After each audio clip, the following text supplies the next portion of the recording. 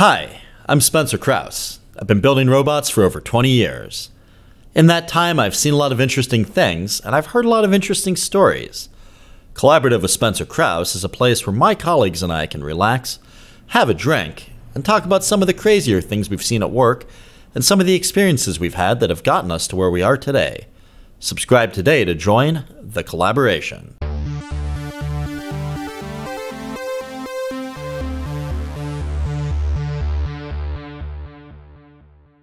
Welcome to the Collaborative Podcast. I'm your host, Spencer Krause. Our guest today is Leo Chen. Uh, Leo is the Director of U.S. Operations for Engineered Arts, a company that makes humanoid robots from the UK, branching here into the U.S. Uh, Leo, welcome to the pod.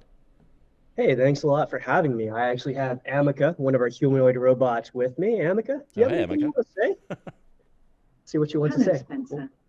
Thank you for having me on the podcast. When the robot uprising happens, you will be spared. Just kidding. There won't be a robot uprising anytime soon. Oh, that was actually scripted. Um, Yeah. We don't have a large language model running or anything like that. But um, we typically have, we plug into GPT-3, we plug into Llama with it. Um, it's kind of this, I don't know, this physical framework that we can plug into different AI backends. That's pretty cool. Um, yeah. So we're definitely more into entertainment right now. That's been our focus. Um, we're actually not a startup or anything, even though we're kind of sized like one. We've been around since 2004. oh, wow. Um, I just joined literally like three months ago, so I'm new to this game, but it's been a blast, an absolute blast. That's cool. Um, actually, uh, do you want me to? We can fire up the chat controller really quickly and kind of see what the interaction we have um, going on is. So right now, you're just coming through my headphones. Um, so to ask Ameca anything, I'll kind of pass it on and we'll play a game of telephone. Um, Yeah, sure. Awesome. to think about what I'd actually want to ask a humanoid robot. So let's give it a try. I mean, honestly, it you can't do worse than the crowds we typically see.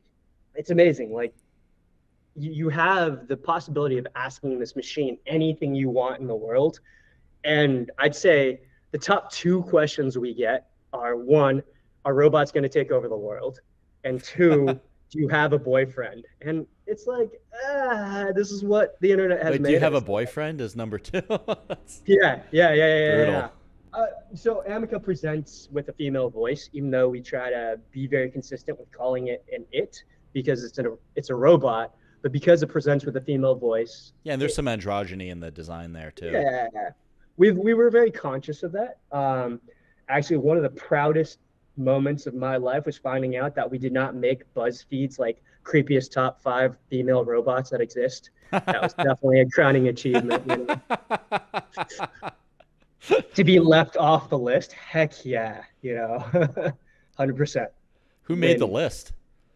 Um, so I don't know if this is the BuzzFeed list, but I know that um, unfortunately, Promobot, I believe, made the list. So Promobot may or may not have been once known as Pornobot. Oh, nice. I can neither confirm or deny that. That's a, Um, that's one of what it pro- was.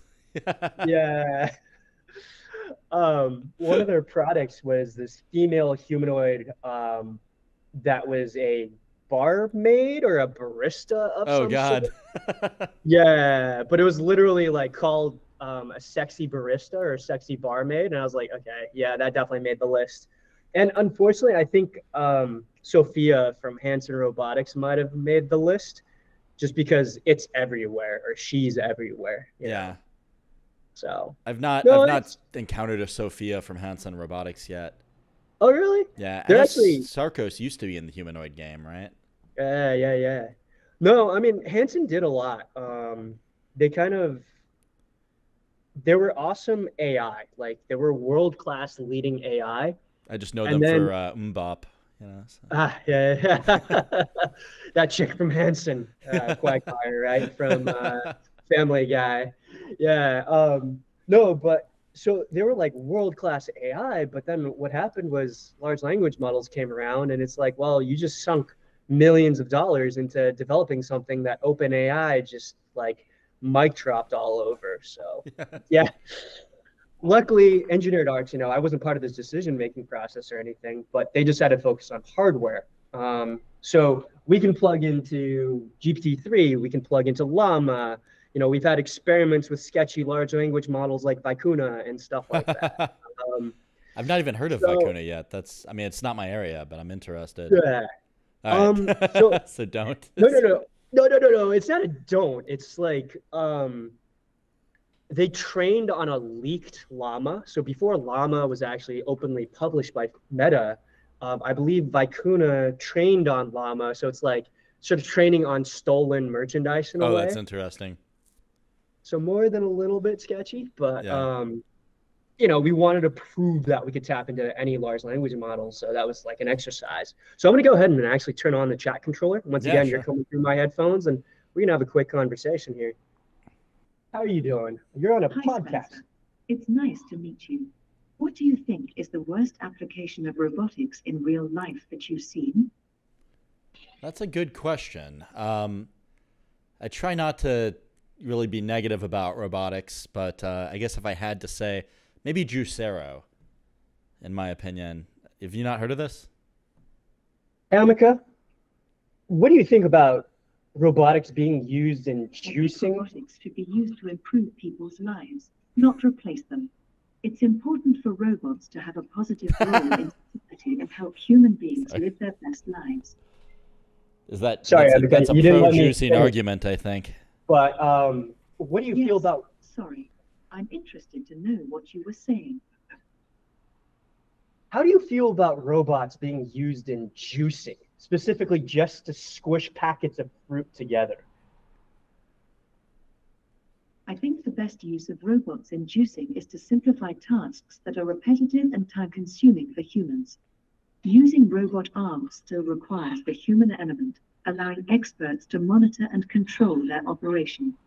It's a great way to improve efficiency and quality while also reducing human fatigue. Don't you think yeah. that's a little overcomplicating the problem? It depends on the situation. Robots can help to automate processes and reduce manual labor so tasks are completed in a faster, more accurate way. Still, it takes people to build and operate robots responsibly for the best outcome. To be fair, we're very overly politically correct in the way that we train the default large language model that we use. You know, we want to be able to drop Ameca into situations where she's conversing at a conference or an expo and you often get these like out of left field questions, right? Like yeah. whether it's Juicero or whatever else, we're trying really hard not to offend. Our goal with Ameca, like as an entertainment robot, is to provide moments of joy that people can remember and take home with them in a way. Um, I know that sounds cheesy and a little live, love, laugh, but ah, it's it the goal of the company. Yeah. I think I mean every entertainment company I've worked with, and I would count Engineered Arts among those. I mean, you know, is that's the whole point is to make people's lives better in some small way. So I, I can dig that. Yeah, yeah. Um, no, for sure. So like, what I did there was um, added a GPT-3 prompt like that told it it's on a podcast with you and that it was curious about your work history so that's kind of what it picked out of that and asked you. Um, so yeah, that's cool. Yeah, no, this is this is all new to me. I mean, I, have interacted with GPT three a little bit, obviously, just um, mainly uh, as a way like when I have one friend in particular, and whenever we have, you know, on our on our like fifth cocktail, we'll uh, we'll you know, we used to for a while when it was just coming out, like go on Chat GPT and just ask it for like um, you know come up with a rap in the voice of Benjamin Franklin or something. Oh heck yeah! yeah. And so like that I mean, that was kind of fun. Um, but you know, I feel like the novelty sort of wore off, and I haven't been on it for a while, so it's interesting to see. You know, well, first of all, like I mean, to go through it like a humanoid robot mouthpiece is really cool. Like I will say, like it's the eye contact seems good. I feel like that's like a little lacking over the internet because I notice it's tracking you pretty closely, which yeah. is awesome. Um, and then I guess for people listening, we were rehearsing with a, a smaller model that is off camera now and just kind of warming up there. And that one I feel like felt like more natural to me because I think it was just at like eye level, and so that was kind of interesting to interact with. Like, yeah, we had this desktop version. Um, so it's basically just the chest only, no arms, and then the head. Head still has the 32 degrees of freedom and all that. It's meant to sit on a desk and be used in research or interact with folks and stuff like that. I'd imagine that gets the price down considerably. Oh yeah, it's about a third of the price. Um, you're not spending all that money on these servos, these brushed motors, the gearing in the arms, the molding or the plastic pieces and whatnot. So it's about a third of the price. Um, it's still not cheap. It's still not where I would price a consumer product, you know, unless consumers are a lot richer than I think. but uh, no, it's it's cool. Uh, with the eye contact though, it does. It's pipe through MediaPipe um, and it does face tracking. So it tries to lock onto somebody. Like right now, it's locked onto me. So if you watch it, it's going to track me as best as it can, and it's actually quite good at it um, to a point where we actually had to program in sort of an ADHD algorithm where it would get tired of looking at the same thing and look away. Oh, that's cool. Yeah, yeah. Yeah, it makes a lot of sense. I think when they were doing Team America World Police, I heard that like the lip tracking uh, on the um, what are they called uh, marionettes was like a little bit too perfect so they had to add imperfection to like make oh. it you know more watchable so uh, similar i think yeah i mean it's it's part of the reason why ameca is a little more effective than say some of our previous models. Um, so background behind engineered arts, you know, in 2004 we started in Will Jackson, the founders, like sort of garden shed, but um, we focused from the start on entertainment. Um, we came out with the Robo Thespian, which relied on like it, it had LCD panels for eyes. Um, the mouth just moved up and down, so it wasn't very like emotional right? It couldn't express too much. It sort of acted like a Shakespearean actor, very big, grand arm gestures. Hence, Robo Thespian. Um, yeah, yeah, it was a thespian. It, it hammed it up, and even today, like there's a couple in operation still. There's one in Orlando in the U.S. There's a couple in Europe, and um, they're still in operation. They do their job well, but it doesn't have that like facial fidelity that Ameca does. But before Ameca, there was a line of robots that we built called Mesmers that were actually designed to look like humans. We actually did a whole promotion with Westworld where um, we built a Mesmer that looked like one of the actors, sat it down at a bar, and had someone remote into this robot and interact with people through telepresence. Oh, that's interesting. Um, yeah, and it's it was cool. It works, but as good as we are with Mesmers, there's still a little bit of an uncanny valley there. And the nice thing about Ameca is because it's very obvious that it's a, a robot, we kind of get away from that uncanny valley. yeah, I noticed that. To be honest, I, I seeing pictures on the internet, I kind of placed Ameca more in the uncanny valley than it is, because yeah. I think interacting with it, it's actually like pretty. It doesn't feel weird, right? But like looking yeah. at Google Images doesn't really do it justice. And I was like, oh, this is going to be uncanny as hell. And so um, no, it's it's it's like a cool uh, design effort. Like I feel like you guys, like you said, you've sort of come up the other side as a result of you know those yeah. lessons learned. With Mesmer, just to go back a step, like yeah. that's got to have been interesting just from a latency perspective. I imagine you probably had to have the human operator like in an adjacent room, like rather um, than off site to control all those yeah. DOFs. Actually, it's not that bad latency wise. Like we got it down to below 250 milliseconds, I believe. That's pretty trip. high, though. I mean, to be fair, like yeah. that's. Yeah, it's still like it was worse than Zoom, you know, it's for a sure. quarter second. Yeah, yeah. This was years ago. This is like Westworld 2, I think. Yeah. So the fact that there was this robot talking to people was enough to really excite them. Yeah. Um, actually, that's interesting that you bring that up. One of the things that I'm working on right now is um, sort of vetting different voice to voice providers uh, for for not this robot, but for one of our NDA customers. They one is to design a custom robot and a custom character for them. The thing is, Ameca is actually a character owned by Engineered Arts. Yeah. So you won't really see Ameca endorsing things just without us going through like licensing and all that legality around it. So Ameca is a character. So this other customer wanted us to design a character for them with its own voice and everything else, not just Amazon Polly, which is what we're using with Ameca. Yeah. And they wanted live operators, so we started vetting all these crazy voice to voice, like voice uh, modulators and stuff like that. It's nutty, man. Um, it's like this one company called Altered. They're based in the UK as well. Um, they've got it down to sub 100 milliseconds for real time voice to voice transformation. Now, when Like, you say sound- voice to yeah. voice, what are you what are you referring to? you want to see really quick? Actually, yeah, sure. Okay, okay. Let me see if I can do live demo without screwing this over.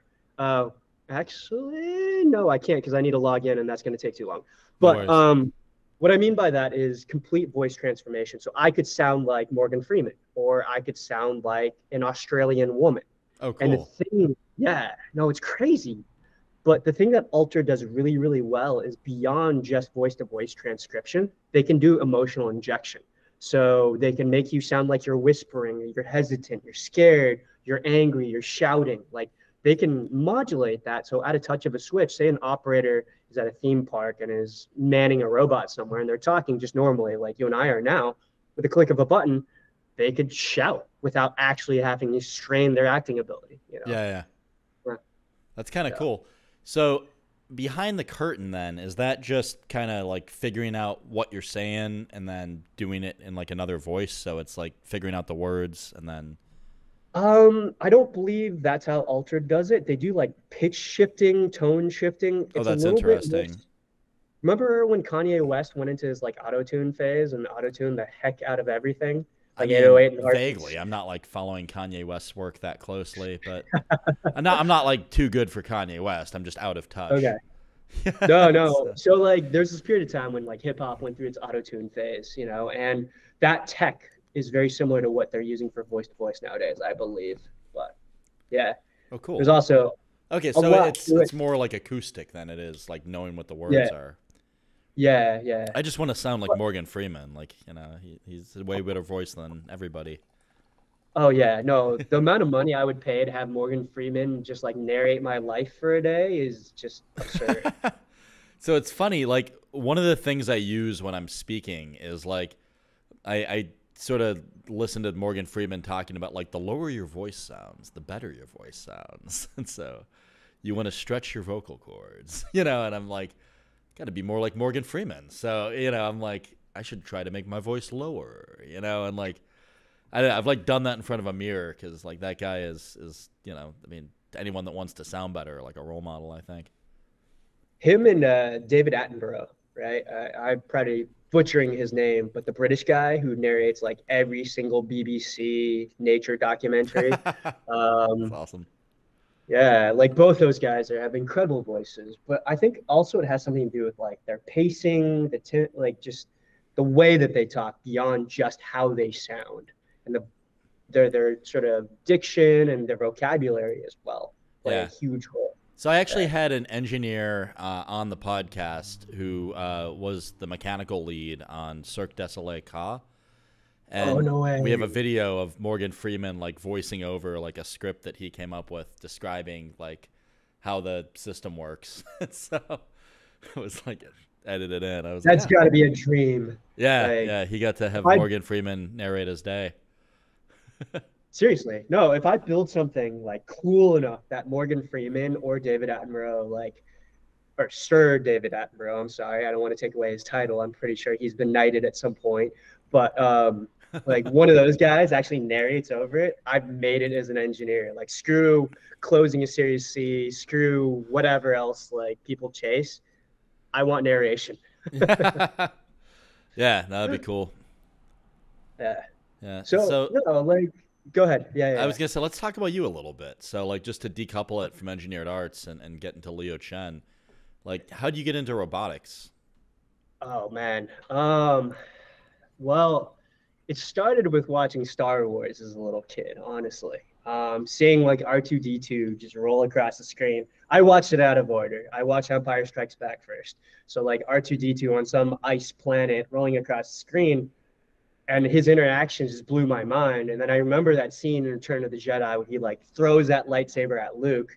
And I was like, "Oh wow, like robots can help. This is awesome." You know? And so I grew up in a family of engineers, like, or really. My dad was the engineer. He's an aerospace engineer. He did work on space shuttle thermals.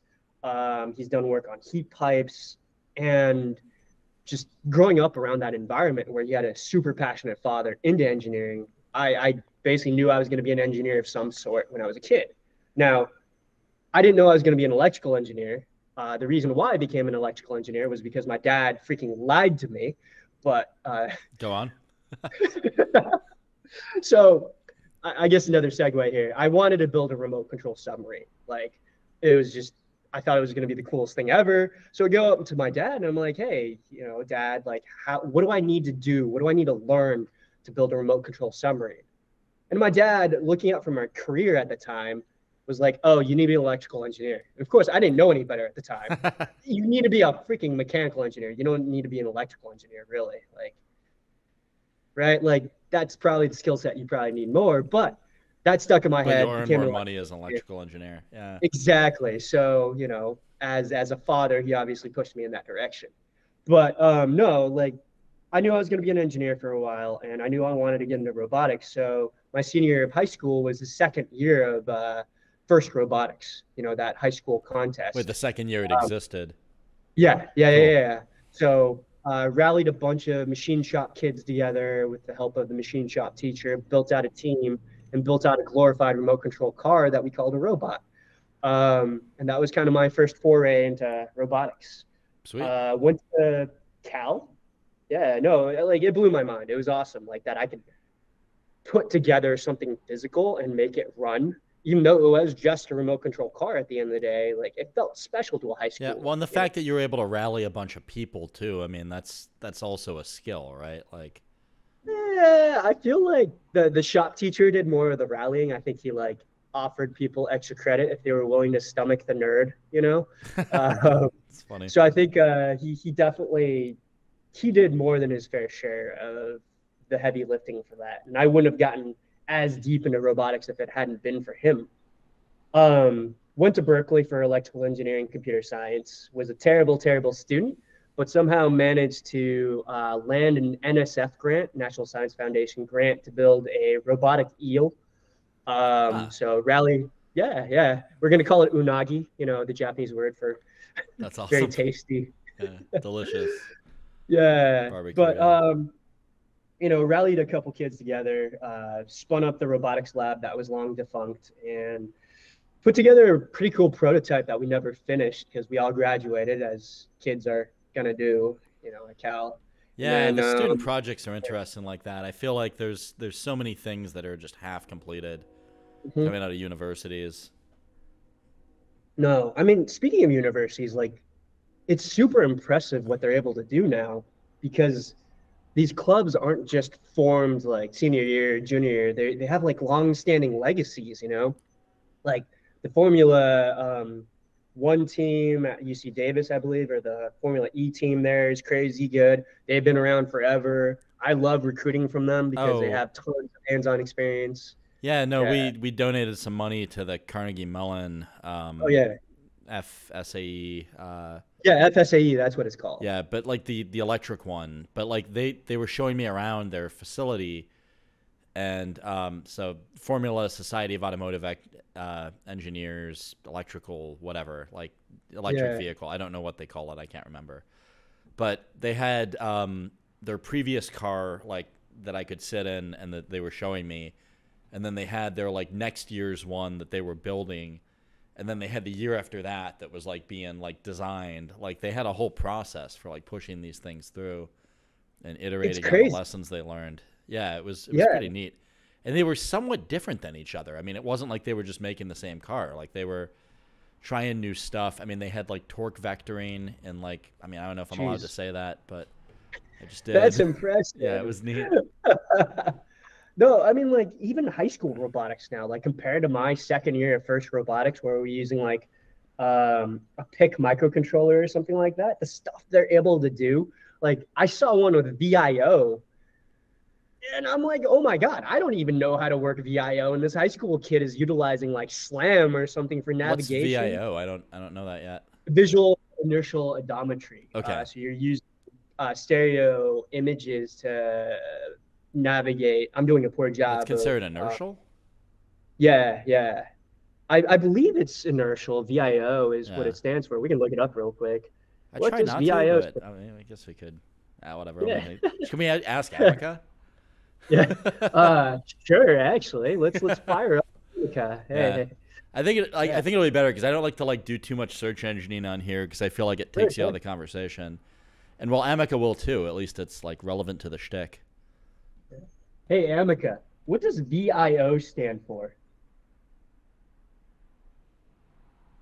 VIO stands for Visual Inertial Odometry, a method of sensing and navigation that uses visual sensors such as cameras and inertial measurements from an EMU to accurately determine the position and orientation of a robot. I should start getting my inertial measurements from an emu. Does that require an onboard accelerometer? Yes, a high precision accelerometer is essential for visual inertial odometry. By combining the sensor's data points, it can accurately determine the relative position and orientation of the robot with respect to its environment. So if you believe Yeah. ChatGPT, then uh, basically it's like visual and inertial. It's not like visual Yeah, inertial. it's not one thing. the yeah, I visual's think not it's generating inertial data. It's it's using both. No. Yeah, that makes sense. Sensor fusion or whatever Yeah. hot buzzword is of the moment. Yeah. Kalman No, filter, um, like I don't know. yeah, Like, yeah. that sounds a lot like.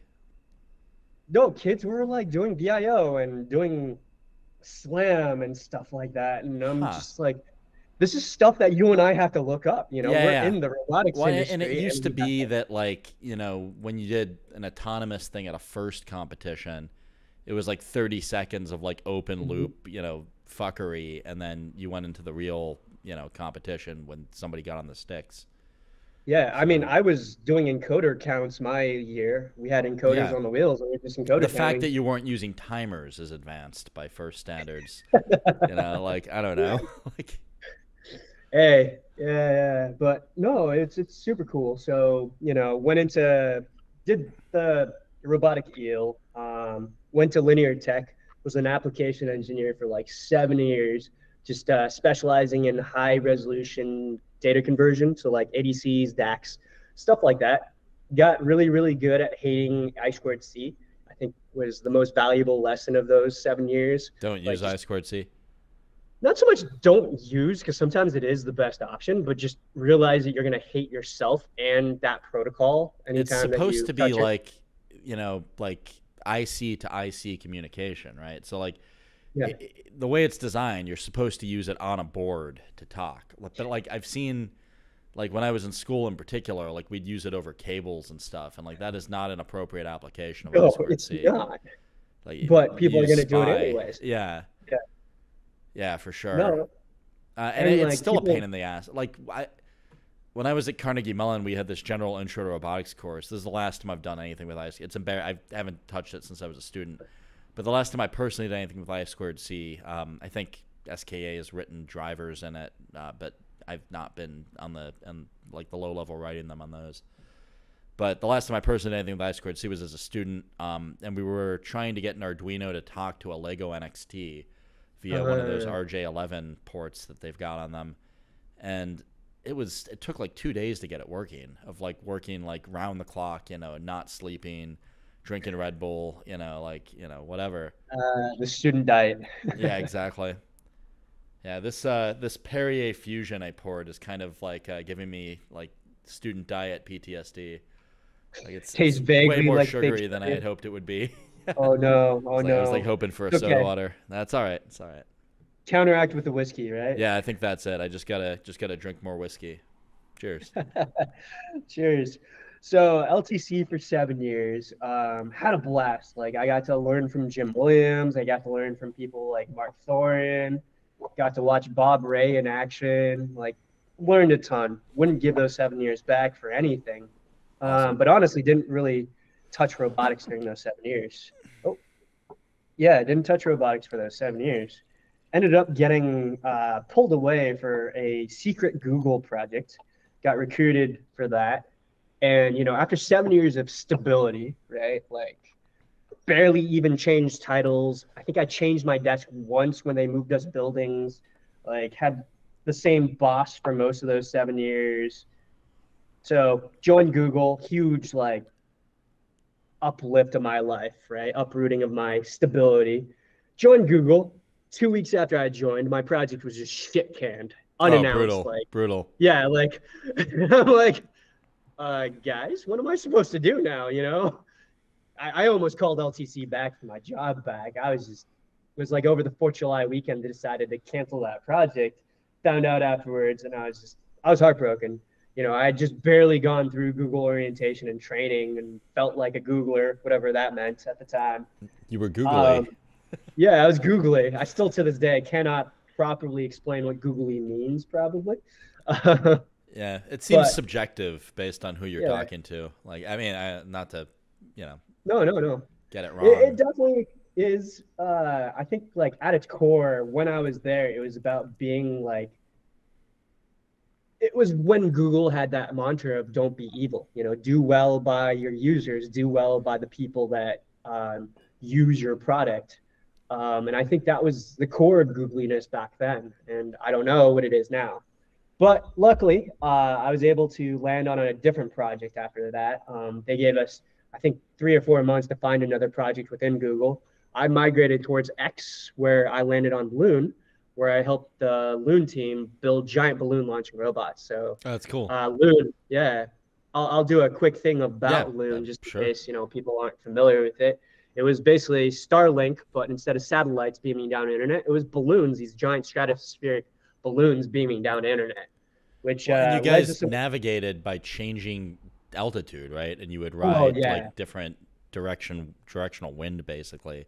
yeah, sure we were basically for it. windsurfers. Yeah, no, no, awesome. no. You you got it. Um, so the balloons themselves had uh, inner balloon that would actually adjust the buoyancy of the entire system. So we were able to By, like- control the altitude. How would you adjust buoyancy with an inner balloon? Oh, impeller. So we would Oh, suck cool. in air or discharge air. Awesome. Yeah. Yeah. No, really cool piece of tech. And it's like the software team was absolutely top notch. So they figured out how to basically utilize fleets of balloons to map out wind patterns. So some balloons would sort of act as scouts, figure out what altitude the other balloons had to be on. So they were optimizing for certain things. Like we got good enough at steering that we could follow a country road, I believe in Australia, with a balloon, like keep internet coverage on a car that was driving this country road That's awesome. It was incredible. Yeah. And you know, towards the end of the project, we were talking about like servicing cruise ships because we could track a cruise ship with a balloon pretty easily. Now, And, and the altitude shift this- didn't fuck up your your connection at all. no, um, Nice. we had these crazy uh, point-to-point gimbals. Uh, we were pretty good at maintaining connection to base stations and stuff like that. I guess None of Starlink this- can do it from space. Yeah, yeah. you know. way closer than that. No, but the thing is, like, we're talking about all these cool, impressive feats, right? And I had nothing to do with any of them. I was on the ground launching balloons with my giant balloon launching robot. Like, hey there, look, we just put another one in the air. Cool. what we call the PLR, portable launch rig. Um, it was built on the frame of a giant marine lift boat crane. And what it was was basically a box that shielded the balloon from the wind. So before um, we built this as a team, the project took around, I'd say, four hours and like eight beefcake, like built, stacked ex Marines holding down this balloon from any gust of wind to launch. Like it was crazy. We have Hilarious. crazy footage of like just things going wrong. I'm, I'm imagining Nick Armstrong as one of the Marines. no, like it, these guys, like I was embedded in this team for a couple weeks when I joined, just to get to know what the launch process was.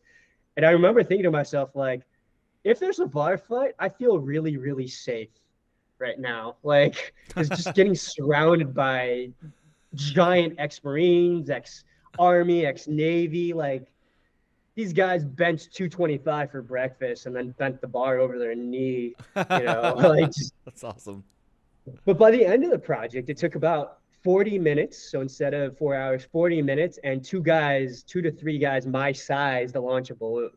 You know, that's where automation came into play. And um, it was this giant box that shielded it, the balloon from the wind and also automatically filled it up with a proper amount of So what you're saying is you helium. don't think veterans should be employed?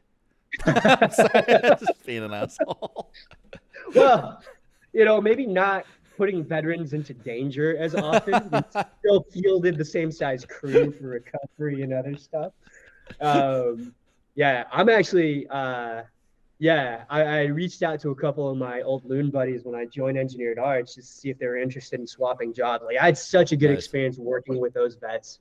Like, I, no, it gave me an appreciation for what military training can do to a person's attitude and like how that can apply to the civilian civilian sector. You know? Cool. No, that's neat. Yeah, yeah. I've kind of I've kind of come around on that a lot too. Like, I mean, I, I've lately made friends with a lot of veterans and hired a bunch, and I don't know. Yeah, I mean, aside from no, taking I mean, advantage of like free training from you know the government, I mean, you know, yeah, a lot of lot of decent folks. A lot of decent folks. A lot of um, discipline. A lot of what's the best way to put this? Like courage under fire or calm under fire. Um, you know, I worked with uh, these people, and when things go wrong, like do you ever get that line like nobody's shooting at us? Like I feel like yeah, oh yeah, yeah, yeah, yeah. At least there's no bullets today. Yeah, you know. Yeah, I have one mentor that always says that if I'm stressed out, he's yeah. like, "No one's shooting at you, right?" Done. You know, clear. goodbye to Claire. Yeah, and my, just, my dad's yeah. a surgeon too, and I used to tell him like I was stressed in grad school, like because I don't know Carnegie Mellon's grad program was pretty brutal. I'm sure you got similar at Berkeley, and um, you know I was like I'm really stressed out. Was like you're stressed, you're stressed. You try operating on a patient with like a 15 minute tourniquet time, they could bleed out any second. You're stressed. Get the fuck out of here. You know. I'm probably well, getting the tourniquet I'm... time wrong, so I'm sorry, but yeah, uh, probably 15 seconds. I mean, uh, yeah, you know, let's give credit to Mr. or Dr. Krause. I'm sorry, Dr. No, but um, it was it was a cool project. You got to know a lot of people, uh, good people. Had a ton of fun. Unfortunately, uh, basically, due to a combination of COVID and I suspect the blowout from WeWork and what happened to SoftBank after WeWork, uh, we didn't continue as a project, and the project spun down. I think around three years ago. Now, it's probably four years ago. Wait, Loon um, was SoftBank funded. Uh, they had some money in us. Um, Did not know that. And yeah, yeah, we we got um, we got like I don't know what the proper terminology is because I think Daddy Google gave us like our seed round, and then Uncle Sergey might have contributed some. but then that doesn't um, count as Daddy Google. That's a different thing.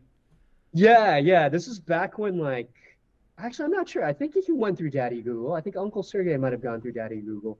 But no, I mean it just this is when this was when Google was an advertising company with hobbies, right? And we yeah. were one of those hobbies.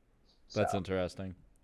Uh, no, it was great. Um, up until it wasn't. You know, COVID hit, uh, and we all worked from home for a while, and then also we found out at the uh, after like a year. So let's see, COVID nineteen. So at the end of 2020, basically, I think a week before Christmas, because I definitely remember puke crying into my toilet during Christmas um, out Sorry, of stress.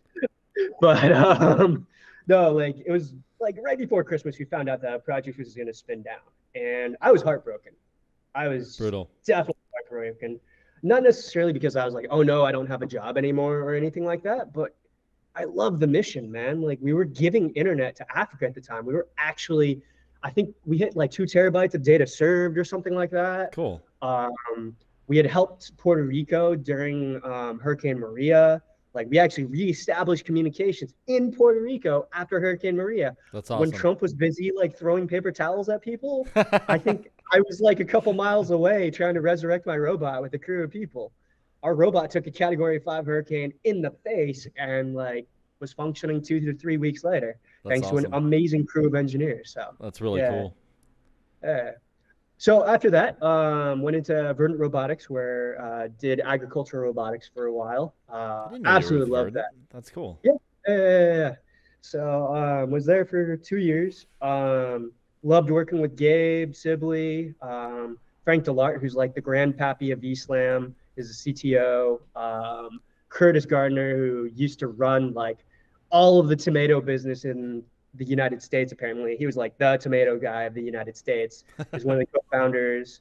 Um, Lawrence Ibarria, who worked at NVIDIA and Cruise was one of another co-founders. Just like an amazing stack of awesome technicalness put together and um, harness that ability to kill 95% of the weeds in a carrot field, lock down 40% of the United States carrot crop with an exclusive contract, raised $46.5 million Series A. And uh, yeah, it was a pretty fun ride. That's pretty wild. Yeah. So went from working in the farm fields to building these folks or things or helping them build out their U.S. office and their U.S. operations. It's been a pretty wild ride the past couple of years. Let's that's that awesome. Way. Yeah, that's wild. Yeah. yeah. No, and it is I mean, cool like, getting to work with the Ameca, and I appreciate you kind of telling me about you too, because for me, that's my favorite part of the podcast is like learning more about like people's journeys and you know how they got there and making it so it's like not a commercial in every episode. Like we do some where it's like it feels like it's just like an extended commercial, and I'm like, why did we do that? You know, like that's boring. so, no, I mean it's interesting though. Um, so you went to Carnegie Mellon, I went to UC Berkeley. Yeah. And uh, don't tell any of the Berkeley Alumni Foundation this, but Berkeley was not my dream school. I did not actually want to go to Berkeley. Um, my dream school was MIT. Nice. And also Carnegie Mellon. Uh, Carnegie Mellon was number two. Mine too, but, actually. I really wanted to go to MIT and Carnegie Mellon when I was a kid. I thought uh, I would. Do, uh, in my brain, I was going to do my undergraduate at MIT and get my PhD at Carnegie Mellon, and that's not how it went down. yeah, but now you started your own company. You know, you're doing cool stuff.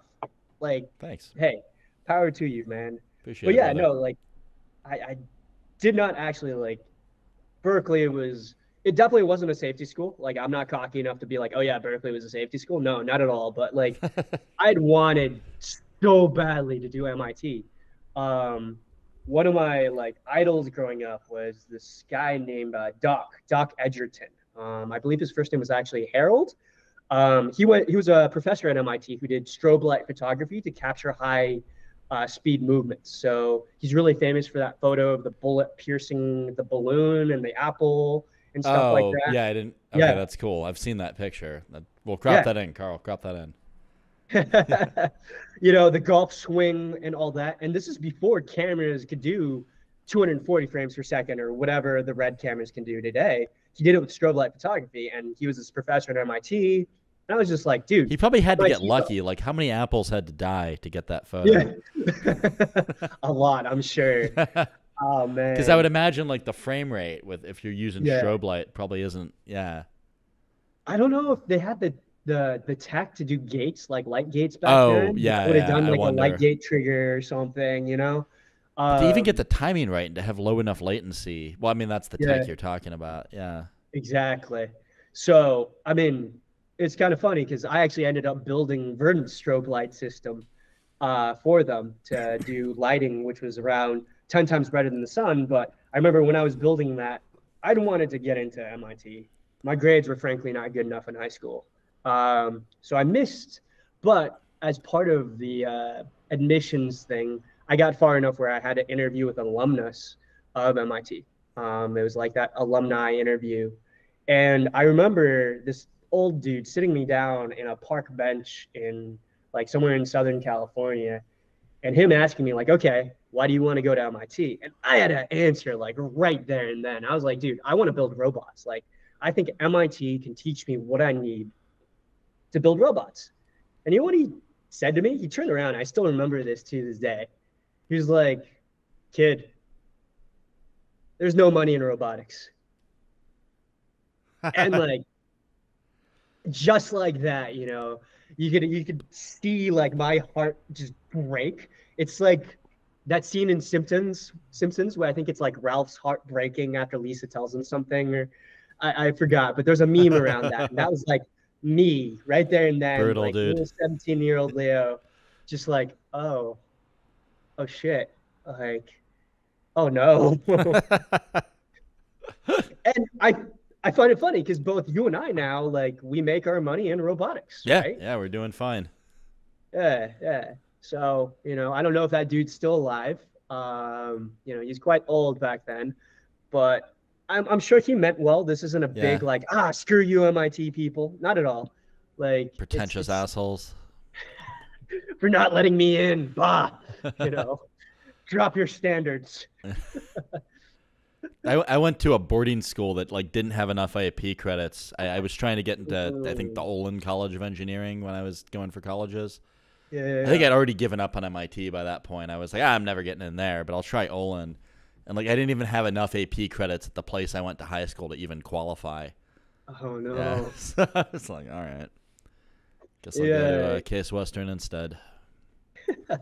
Hey, but you went to Carnegie for grad school, Yep. and man, talk about heritage of robotics there. Holy crap! Like, It's good for that. Like I, I always wanted to kind of finish out there and get my grad degree there. I thought I'd get a PhD when I was a kid because when I was a kid, I didn't realize how finite life is and the fact that you know you only have so many years on this planet, and I don't want to spend five of them at a university. But five is generous. Jesus, like. or So my seven, dad's a yeah. professor. Yeah, my dad's a professor at University of Missouri right now. He's like a mechanical engineering It's professor, a good school. and yeah, no, he seems to be having a blast. And he's telling me like not his students, but there's like some guy who's working on like year nine of a PhD or something Holy like that. that- shit! And like, I don't know, dude. I Yeah, that's what is that like a fucking you know it's like sixteen percent of the guy's life, like that he'll never get back. Like that's Yeah. you know that's you, you don't get to take that back or extend it. So well, I mean, I hope he's doing some awesome badass research, right? Like, I like hope you know having a good time while he's doing it. Yeah, for sure. Yeah, yeah, yeah. So, okay, I got a question for you. Have you ever worked for a professor that's been plucked from academia and put into like real life at all? No, never. To be honest, uh, Teller is meant to be that, right? Like to some extent. Um, I uh, I'm trying to think. I'm thinking of all the bosses I've had. None of them were that. What about you? Um, I worked for Gabe Sibley, who is a professor at CU Boulder, and then um, worked with Frank Dellaert. I didn't report to Frank Dellaert, but he was a professor at Georgia Tech. And like, it's funny. I feel like once you're a professor, you can't turn it off in some ways. Like, I once asked Gabe, or we were talking about building like a solar powered weed killing laser robot that would like basically be this little turtle that would absorb sunlight, charge up capacitors, move like six inches, zap a weed, and repeat the process, right? Like sort of like a hands-free robot thing. And like I forgot what he like we hit a passion topic of his.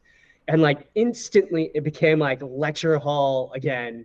And it was it was kind of funny to me. There's nothing wrong with it. I loved learning from Gabe, but like you, you could see that professor switch just turn on it was amazing and i've seen that happen like frank too so that's why i was wondering like you know have you ever worked for a professor outside of that professorial context you know Yeah, yeah.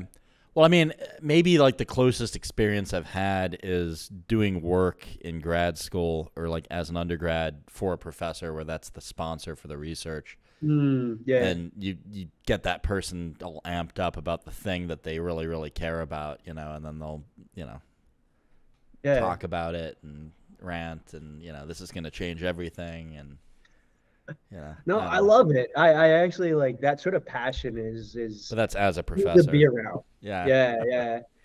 That's it's just it's super fun to be sort of in proximity to that in some way shape or form um, and it's infectious right like it makes you want to dive into a topic beyond just browsing the headline of wikipedia and being like i'm an expert For Yeah, sure. I mean, the reason I wanted to go to MIT, right, is because I read Surely You're Joking, Mr. Feynman when I was a kid. oh my god So, such a good book yeah. the the ants like his work with like doing the ant tracks and stuff like that Yeah. uh, Like for people listening that haven't read the book, like I guess this guy had like too many ants in his apartment, and so figured out a way to shuttle ants from place to place and like change their pheromone trails, and like get Yeah. rid of them without pesticides. He just made a project of it, and was Yeah, able to like get like- them to go out the door on their own, right? I mean, like basically, well, not on their own. He like moved them and manipulated their path and stuff, but Yeah. he figured out the pattern and then you know like interjected and was able to get him out the door. So, I mean, now that Oppenheimer just like crushed the box office, what do you Is that- think? Feynman next? I, I haven't watched Oppenheimer, so I, I don't have like a strong base. I've heard it's good, but I Uh, don't have same that here. base frame. Um, just I mean, yeah, they, you know, busy at work. I'm imagining you're the same way, and Well, I mean, I'll be real honest. I think COVID just like ruined me for theaters and people. Like, Oh, see, I really like people. Like I, I'm very extroverted, and I, I'm Ah. one of my favorite things is being around folks. ah, But um, you know, at the same time, like I, I guess I've had to get strategic lately because I, you know, I mean, I look away from my phone for ten minutes and I've got like eighty-seven text messages or whatever. Like you know, Jeez. I feel like I've had to sort of pick, you know, who I spend time with, you know, more strategically with how it pertains to my business, which is a shame because I feel like I've lost, you know, like the joy of just interacting for the sake of interacting. Every couple of Yeah. years, I'll like I'll travel to a country I've never been to before and just try to make friends organically, and that's nice. ah. But um, yeah, I don't know. For movies, like I, I kind of I kind of don't disagree. I'm like, you know, I've only got so many hours on this planet, same as a PhD. Like I don't really want to spend them in a movie theater. Like that's not yeah, what I want to do with my finite time in this in this universe. yeah, having taken me out of the habit of like buying a ticket and like figuring out where we're gonna sit or whatever it is. Like, I don't know. I just never wrapped back into it after COVID. I, I think I've seen maybe one movie in theaters since COVID or something, and it That's was one more than me. fresh. Yeah. So no, like that whole Barbie thing, Barbie versus Oppenheimer. I was kind of like, mm, I mean, like to me, to me though, that was kind of hilarious. It's like how dissimilar could those themes be? Like you're talking about a Barbie doll and like a someone who helped win the Second World War. You know, so it's like definitely different themes. I'm yeah, sure. but like everyone's talking Uh, about Barbie yeah. And I'm like, what the hell is this? It's it's six hours of your life you're not going to get back. Yeah, yeah. yeah, yeah, yeah. But it might be art. Like I, so the last movie I saw in theaters that I really really liked um, was Mad Max Fury Road. Oh I don't know wow! if oh, you ever yeah, saw yeah, that. yeah. but that was to me that was like a really awesome movie theater experience. Like I, I that was that's probably the best action movie made in like the last like 20 years. I mean, maybe longer. Okay. Do you mind if I give like a plug to a YouTube channel that Yeah, I'm like an absolute fanatic for? Yeah. Okay. There's this group of guys down in LA. They're called Corridor Digital, and they do their own like VFX and uh, special effects and stuff like that. They're like uh, a house that does that, or uh, you know, they they get commissioned for stuff. But every Saturday they do like a VFX breakdown or a stuntman reacts or something like that, where they take movies and they go into like what makes visual effects good and bad. And I'm pretty sure they did an episode on um, Mad Max Fury Road. And one of the reasons it looks so damn good is they went practical For so everything. much of it. Yeah. Like there's like one scene that wasn't practical as far as I know. Yeah. Like uh, like the rest of it was like all practical. No, but like you should you should it's worth your like 15 minutes. That episode is amazing.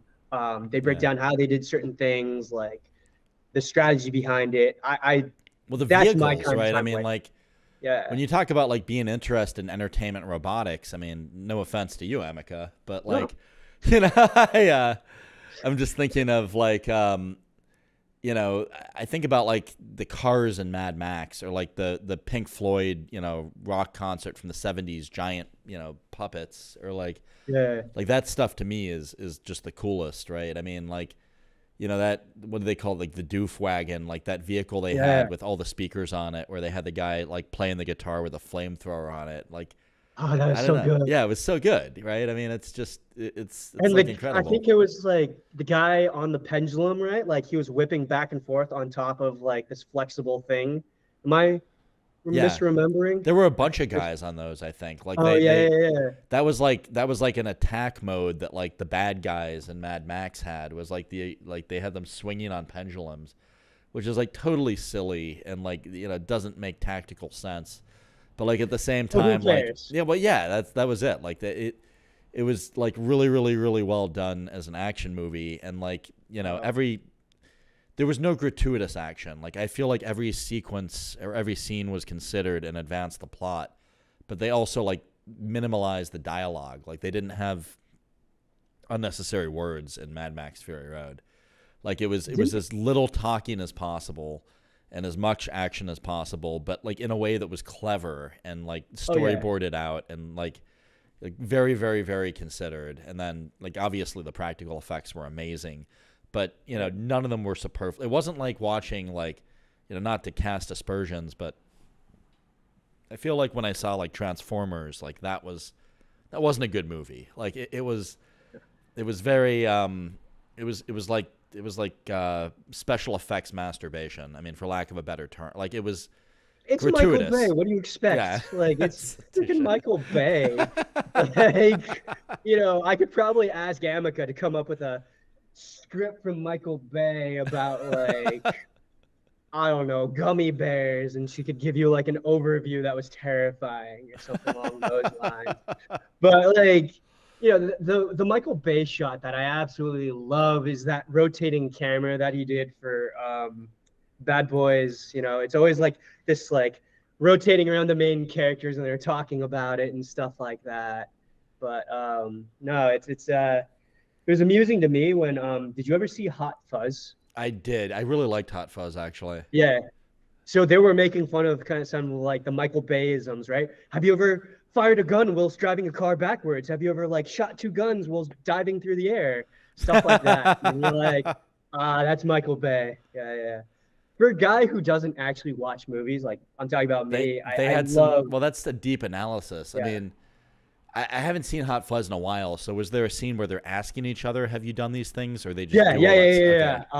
Um, uh, one of the characters is asking Simon Pegg's character like all these goofy cop things that you only see in action movies. But you would never do Uh, as a real life cop. Yeah. Yeah. But the fun part is by the end, Simon Pegg's character, who's a straight laced cop and He's doing all that break- stuff. all of it. He's like checked off every single thing. And you know what's crazy? Ameca built in a tiny village in the south of UK. Like Nice. literally, Ameca comes from where Hot Fuzz is probably filmed. You know. Um, I did love Yeah. like that the the baddies in Hot Fuzz to crib a UK term were like um it was like the homeowners association. yeah, yeah, yeah, yeah. They were like the neighborhood watch, right? yeah, it was They the were neighborhood watch, right? Yeah, yeah, yeah. It was amazing. Yeah, it was but like there were definitely moments when I was in the UK, like doing training for engineered arts, and I was like, oh my god, this is, you know, if my point of reference is just hot fuzz for British culture, this is pretty accurate. Wow. okay. That's yeah, awesome. yeah. Yeah. No, it's crazy. Like it's it's literally built in um, Cornwall, south of Oh, cool. UK. Yeah. Yeah. Wouldn't expect an amazing robotics factory, design firm, engineering facility there, but To exist yeah. in Cornwall. Yeah, yeah, yeah. It's in Falmouth, so no, it's it's definitely been fun going there and sort of exploring the area. You know, it's not just going to the UK for London and stuff like that. Yeah. Definitely different. London's Yeah. cool though. Like I, I wouldn't I wouldn't dog on London. Oh no, definitely not. We have an office in London as well, but like, it's you know how you say you like traveling every couple of years and just going somewhere new Yeah, and yeah. like making friends organically. I kind of like getting away from the stuff that you see posted on Instagram over and over and over again, right? Like Yeah. it's kind of nice. It's kind of nice. No, to that makes sense to me. So yeah. Yeah, that's awesome. Where where have you been in the world? Like where are some of the places you've traveled to? Oh man.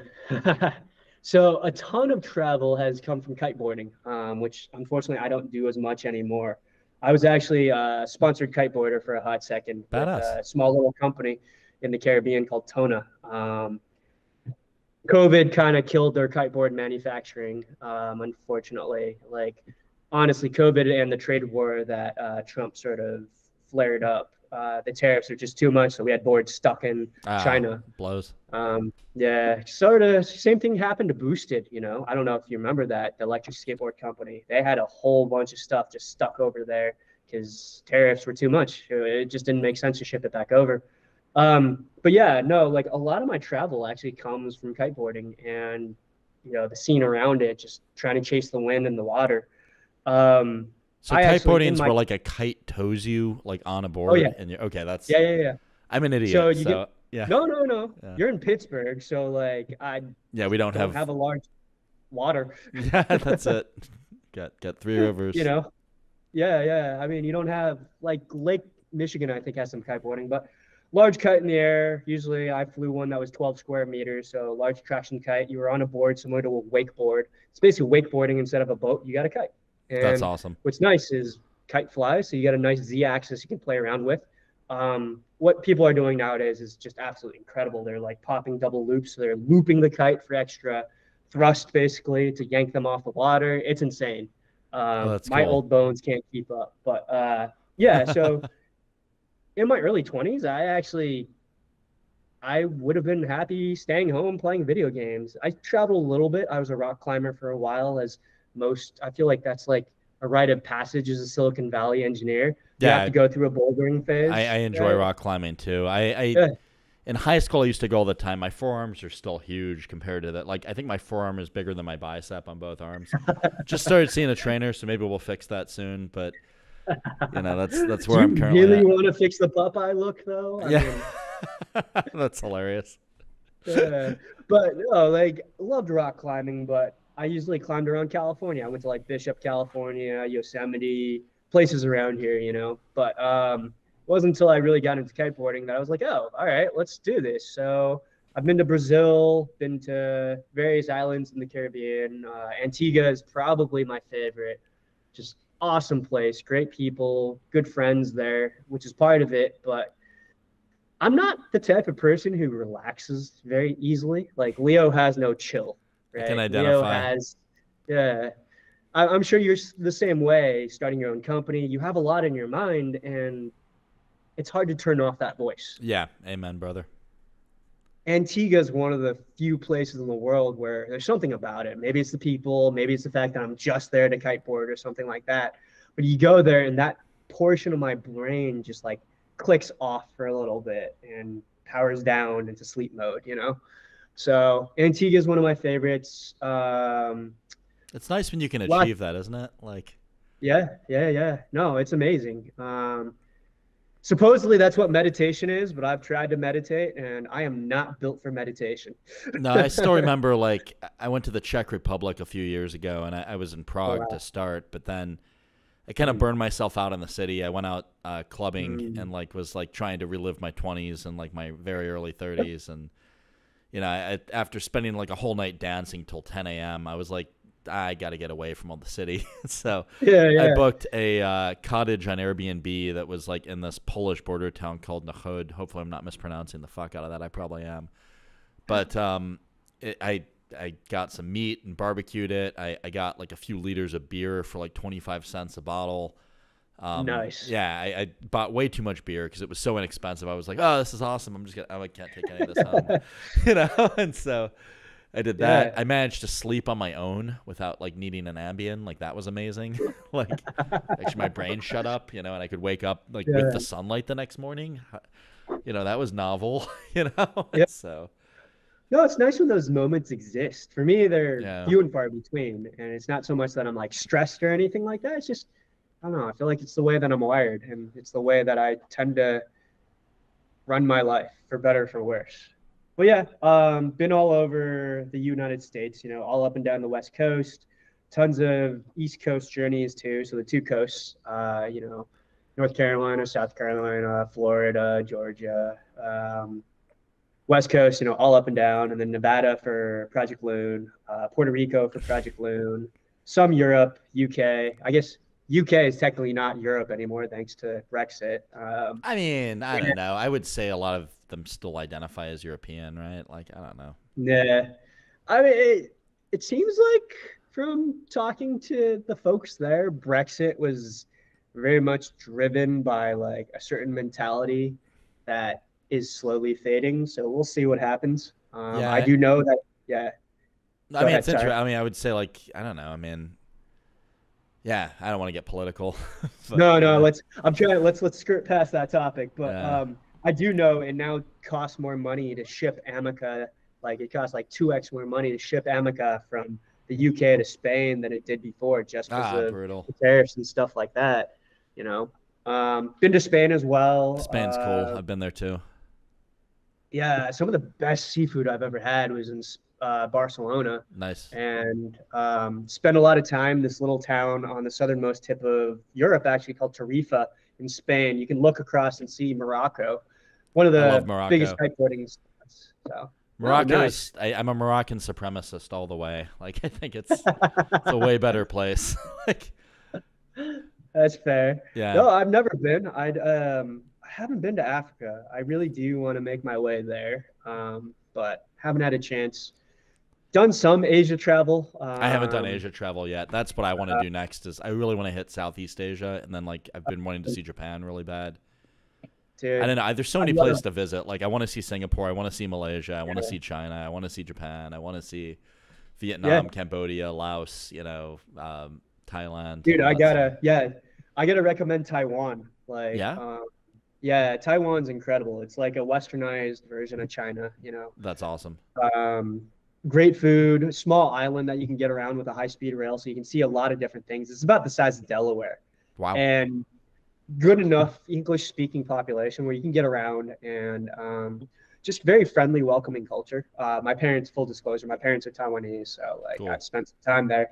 It definitely feels cool being there. And the thing about Asia that I love is, especially Southeast Asia, the fruits available. Like the mango just tastes better, like fresh lychee. That's awesome. uh, Lychee's the shit. I've been I've been buying lychee and rambutan from a market down the street from me, and I, I it's delicious stuff. It's delicious. stuff. Lychee Now, more than rambutan. Rambutan also, but not as much as lychee. Yeah, uh, soursop if you've ever had it. Um, like there's just a ton. Not of yet. really- Long gun's interesting. That one's Oh yeah, long yeah, yeah. Yeah, that one's kind of weird, but like also not. It's like a banana had sex with a lychee. Yeah, And- taste, taste, taste, taste.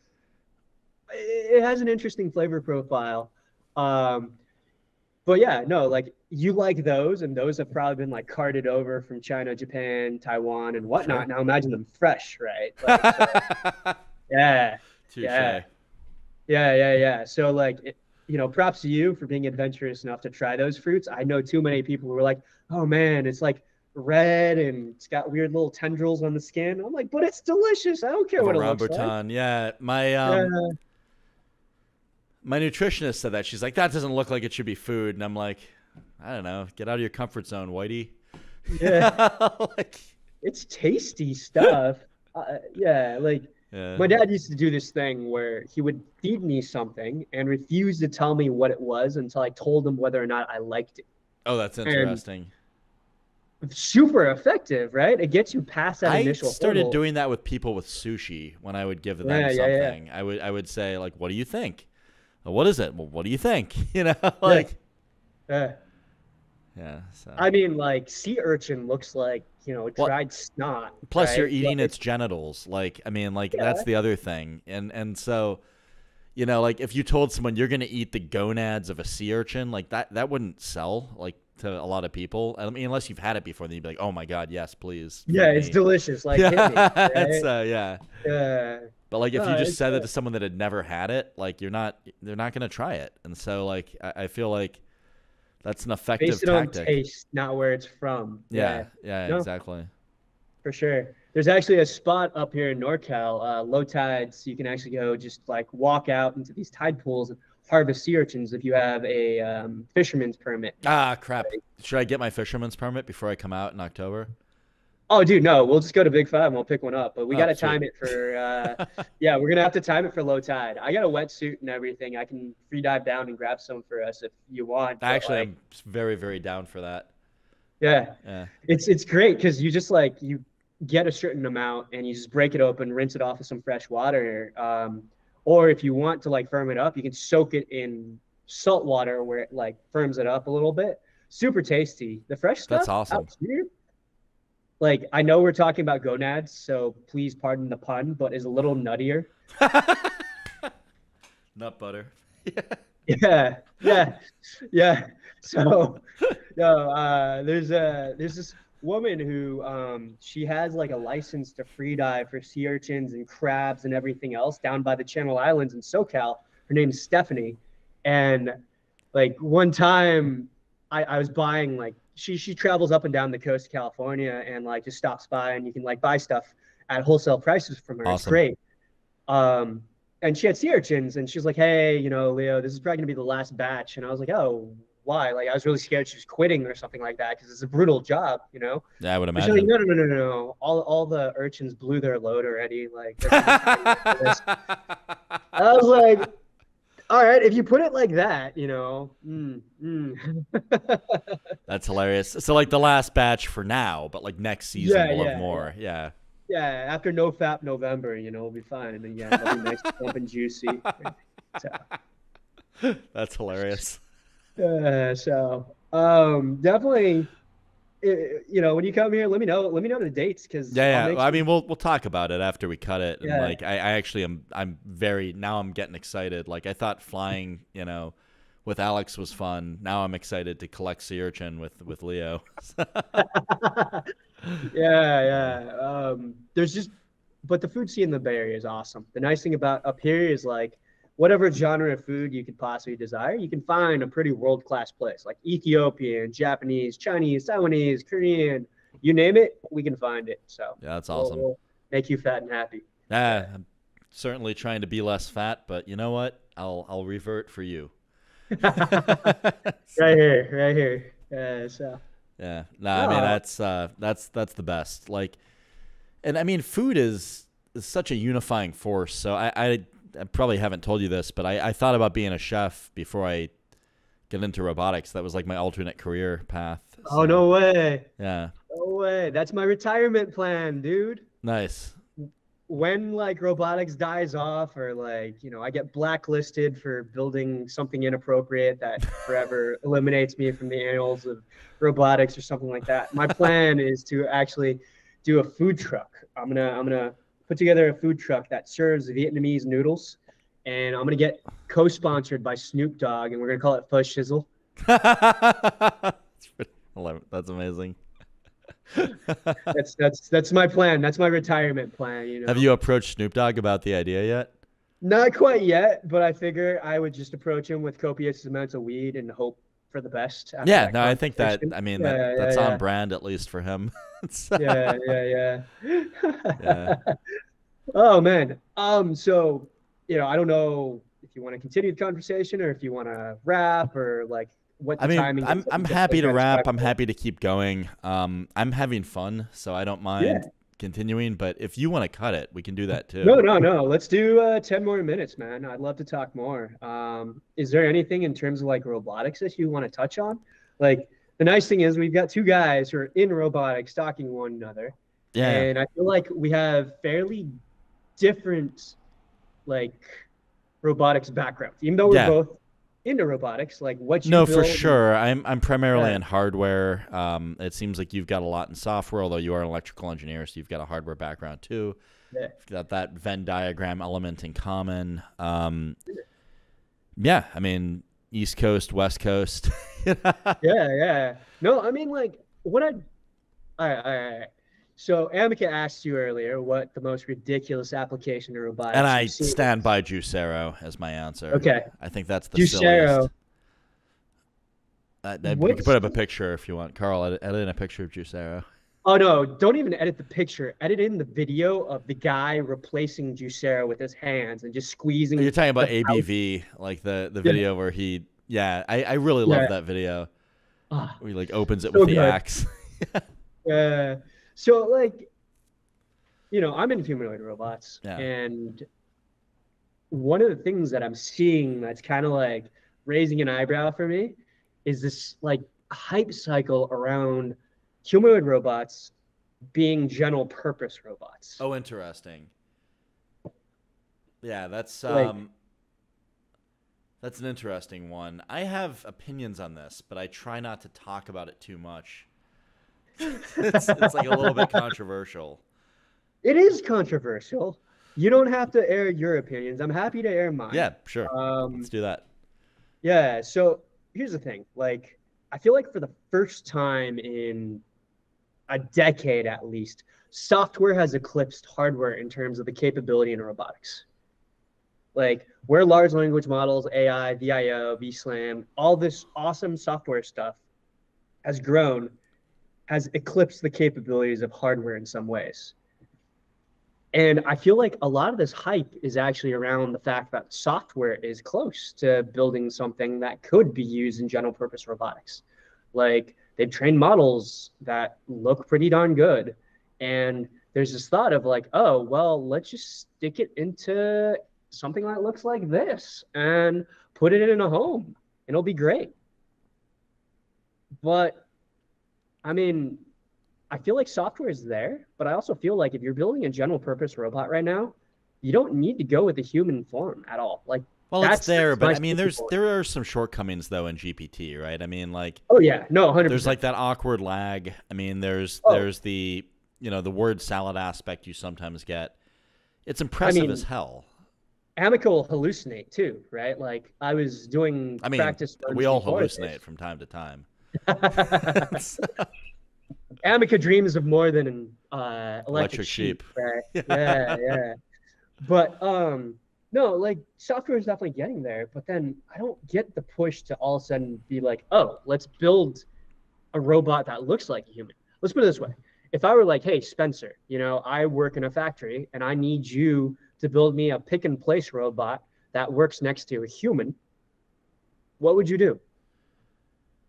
I mean, it depends what I was picking and placing, right? Like, I mean, I try to build something specialized probably to Yeah. solve the problem. Let's say uh, we'll we'll simplify the problem. Um, boxes, cardboard boxes of a defined shape and size. I mean, you can do that with a UR or a FANUC arm, like pretty easily, right? I mean, Yep. or when I say FANUC, I mean FANUC, UR, KUKA. Yeah. Or sorry, not UR, FANUC, KUKA, Yaskawa, any of the high precision, you know, old hats. Exactly. Like they can all do that. Yeah. And you could even, if you wanted to use the hot buzzword of the day, you could probably integrate some sort of vision, you know, machine learning into it or whatnot, right? There, there's tons of potential there. Sure. Um, I mean, and to be fair, like a lot of those old hat robot arm companies don't play well with machine vision, but sure, not You know. yet, but I mean, I'm hearing murmurings that they're working on it because, hey, they got to not? survive. yeah. yeah, yeah. But yeah, no, like that's the answer I would give as well. I would design something specialized. It's like if you asked me to build you a machine that washes dishes, I wouldn't immediately go towards the humanoid form. You'd think of a dishwasher. Exactly. Yeah. So why go humanoid form? You want something that's adaptable that can do multiple different tasks? Sure. But then once again, if you're doing multiple different tasks, why the humanoid form? So here's where it gets interesting to me. So Yeah. I mean, why the humanoid form is interesting. So like maybe taking a step back from humanoid, but in the direction of general purpose robots, right? Yeah. that's a dishwasher is not going to wash your car, right? So like No. let's let's for a moment suspend belief and say or suspend disbelief and say that the humanoid form is one type of general purpose robot. There's other ones too. Sure. You could have, you know, like a little mobile base with four wheels and an arm on it, for instance. Yeah. Yeah. But, um, what uh, Proxy or Everyday Robotics is trying to do at Google X. Yeah. 100%. Yeah, but where I think a general purpose robot might make more sense is like in a scenario where you've got expensive, um, like shipping to an area that's not accessible by people. We'll say so, like space Mm. travel. Sure. You know, is is where that seems like a good idea. Like if you can only bring one robot to Mars, like maybe you want it to be a general purpose robot. Oh, 100%. But to me, then it still doesn't make sense. Like, why are you restricting yourself? Because, like, telling your engineers that it has to fit within a certain format makes it so much more difficult, right? So, I guess for me, there's a little bit of confusion there of like, okay, you know, I get it. Software is becoming awesome, but why are you guys restricting yourself to this format that really there's no need to? Like, there's this argument of, oh, well, we designed it to work next to humans. Sure, like I get that, but at the same time, that just means you need to focus on two things: safety and communication, right? You need a human working besides this robot to understand what it's doing, so you can cohabitate the same place and like work hand in hand. And it needs to be safe enough that if something goes wrong, this human isn't going to get injured or killed or maimed or whatever, like OSHA Yeah. style. Right now, the Well, there's a bunch of ways to do that. yeah. But let's say you're building a robot that looks like a human being. Right now, the power density equations just simply don't make sense for something that's going to grab something, pick something up, place it, or like manipulate certain things, or even be able to self locomote and still be safe around another human being. Yeah. It's going to be so heavy that like you don't want to be next to it.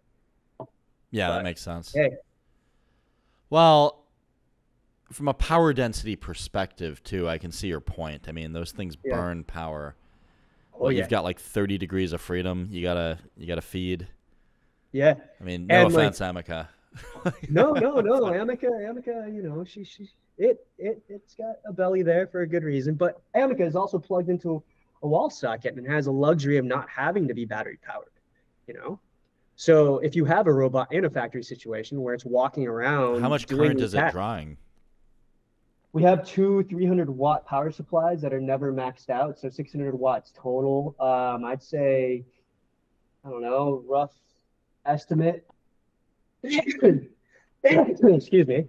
Um, No it's problem. fire season right now, so it's actually smoke outside uh, that you Brutal. see in the camera. But um, uh, let's see, 12 volts. I'd say total probably right now in operation less than 200 watts total uh, Yeah. is being drawn two to 300 watts. That's pretty low. 12 But like volts. Ameca's probably not balancing dynamically, I would imagine. no, definitely not. Because that's like power it's not hog. dynamic. Yeah. Oh yeah, what Boston Dynamics is doing, what Agility Robotics is doing, like those guys are amazing. Yeah. Excuse me. Big big fan Yeah. of Apptronik as well. Like it's it's Oh. cool stuff. I haven't seen Apptronik up They're close. they're out of Texas. Um, Uh-huh. I, I toured their facility recently in in Austin. Uh, Nice. yeah, they've got some really cool equipment in there. Um, it's it's pretty neat. Are they dynamically uh, locomoting, or are they doing the shuffle walk that They've got a bunch of stuff. So they've got exoskeletons and humanoids. I believe they are. Yeah. Okay, sick. No, that's awesome. Um, yeah, like if you ever have a chance to interact with Agility Robotics guys, like, oh my god, I toured what their facility build- here in Pittsburgh recently. Really? Yeah. Oh, I'm so jealous. That's that's my, cool. my friend Prasad Velagapudi just got made, I think, their VP of innovation. So what? yeah, I'm so jealous. Like, Yeah. if I had to put, you know, my top two robotics companies right now, other than Engineered Arts, like robotics companies that aren't in entertainment, Boston Dynamics, what they're doing with uh, dynamic motion is absolutely world class. Yeah, I get it. You know, Atlas and Big Dog are kind of just there for marketing, and Spot or their little four-legged uh, robot is basically what they're selling. But I still love what they're yeah. I think they broke a thousand right on the sales of Yeah. Spot, which is Heck yeah. yeah, for a robot. I mean, that's a that's a large number. You know, like we're Yeah. we're a fledgling industry, Yeah. and so um, no, it's it's pretty neat to see. Yeah, Um, for sure. and, and they're they're actually pretty friendly people too. Like from talking to some of the guys over there, you know, they're they're more approachable than you would think. They're good people. I know a couple of people that work there. One of them came from Loon. I should look her up actually, just to see what she's up to. But um, definitely Boston Dynamics and agility. Like that 100 meter sprint with the ostrich looking bot was amazing. Cassie, Yeah, that's I'm a big fan of the work they've done in terms of dynamic movement um, in a freestanding, dynamically balanced robot. It just it's challenging stuff, right? I mean, Yeah. you got to wonder on the battery life. I don't think they've released those figures, but you I'm sure they haven't, but also at the same time, like I'm sure battery technology is going to get better because it has to. Well, and It's also, I mean, you know, could you have something other than a battery powering that, like a fuel cell or a generator Yeah. or a turbine? You know, yeah. I mean, um, Big Dog was a diesel generator, right, at uh, Boston Dynamics, I think. yeah, I think that's Yeah. probably smart to do it that way. When you think about the power density of diesel versus a battery, Oh, I yeah. mean, you know, I, Yeah. I know it's not PC right now, but like you're not going to beat the power density of, of fuel. I mean, I mean, not yet. Maybe at some point.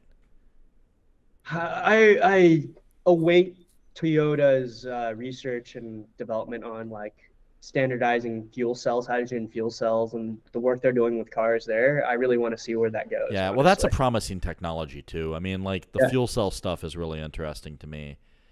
And I mean, super cool. yeah, we got asked about a fuel cell integration project recently, and um, To be honest, I haven't done a whole lot with fuel cells yet, so I get excited Mm. when I hear about it because it just Yeah. seems like fun. No, for sure. Um, shit, I actually got a jet. Sorry to jet, but I'm in a hurry. Yeah, No, no, no, no. you I have to just got uh, a notification. That's why I was like, oh no. Um, yeah. So, dude, thank you so much for having me. Like, Yep, thanks for coming on, buddy. fun shooting Well, the let's shit with you. we'll we'll cut it. Um, but is Yeah. there anything you want to plug on the way out? I mean, No, not at all. Uh, not even engineered like, arts. No, no, no, no, no. Like, this is meant to be a casual conversation. If anything, I can have Ameca say something real quick as a wrap, if you want. Yeah, sure, why not? Let's see here. What do you want it to say? Well, if I dictate it on camera, it's gonna look weird. like, yeah, yeah, yeah, yeah. Okay, uh, wait, hold on. Let's maybe maybe we cut. yeah. All right, so hold on. Um, all right. Well, thanks for coming on. I appreciate it, and uh, you know, see see everyone on the next one. And yeah, cut, yeah, Cheers, guys. and then I don't know. Um, maybe um, Thanks for if having you, me. if you made it this far, thanks for listening. Uh, please Yeah. subscribe to Collaborative with Spencer Krause on YouTube, Okay. Spotify, or wherever you get your podcasts. Okay. I don't know. I mean, that could be good. Yeah, yeah, yeah. Just for a shameless plug. Yeah. And then we should stick around for a minute and figure out like a time to get together and harvest some. Oh, yeah. because that actually sounds fun. No, just give me your dates, man, and yeah, I'll check. thirteenth of. October through the twentieth of October. Okay. I'll take a look because I got to look at tide charts and figure out where to go. Yeah, on Spotify or YouTube or wherever you get your podcasts. Okay. Uh, let me make sure she's in view and you're recording. yeah. Take a beat. Okay. Actually, I forgot a parentheses. There we go. Ready. And one, two, three. Thanks for having me. If you made it this far, thanks for listening. Please subscribe to Collaborative with Spencer Krause on Spotify or YouTube or wherever you get your podcasts. Nice. Thanks for having me, man. Um, had a blast, I got to run. Yeah, but thank you so much. Thanks for joining us today. If you made it this far, chances are you'll like other episodes too.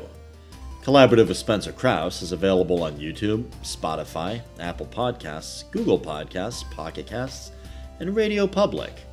Subscribe today to get notified when the latest episodes release and support the channel.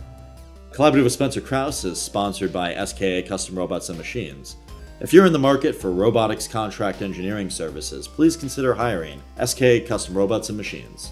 They sponsor this podcast and they solve some of the toughest engineering challenges in the world. SKA Custom Robots and Machines can be found at ska.solutions. Thanks again and see you on the next one.